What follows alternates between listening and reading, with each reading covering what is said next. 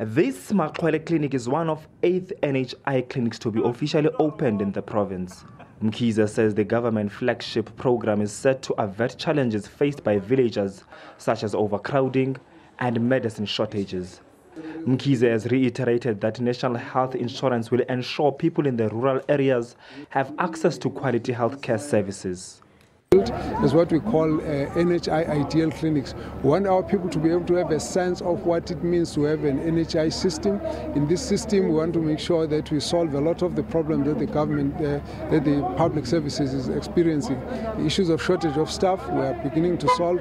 The issues of infrastructure, we've also started uh, solving those. And the issues of shortage of medicine, we're also solving all of these. The, at the end of the day, we want our people to understand that this health system needs to be changed, changed for the better.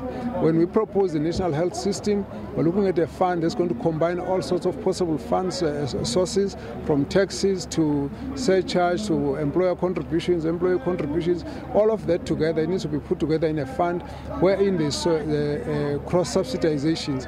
Those who are employed are actually helping those who are unemployed to be able to get the same kind, kind of service.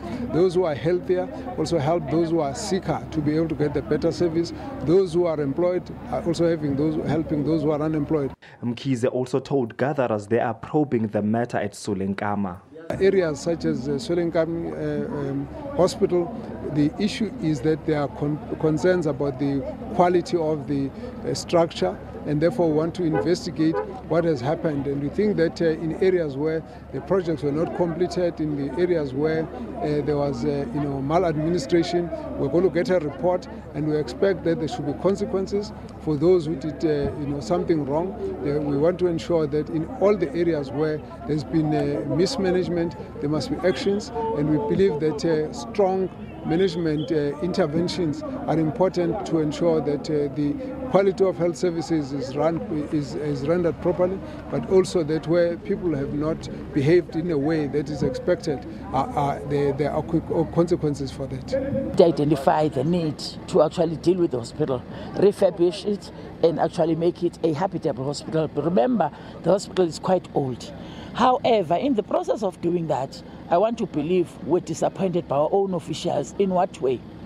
There has been a service provider attached to doing the work. that service provider did not do the work as expected. However, there's money lost to the process. And obviously, it's a matter that we need to follow up. We need to actually see to it, but who did really sign the, the, the, the document that actually assists in paying out people? But exactly for what? because there has to be value for money. So, in a sense, we're looking at that matter and we're agreeing with the minister that we need to ensue an investigation. If we do have officials in the system that are part of that, even if they've left, there are procedural ways in terms of crime that must be followed. This issue of labor relations and others, for me, doesn't really work in a situation of corruption and fraud. Locals welcomed the opening of the clinic. le klinikhi siyivulayo namhlanje This clinic may be called a clinic, but to us it doesn't look like one. We have a hospital. It is fully equipped. ke into ikhona The previous clinic was overcrowded and it used to be congested.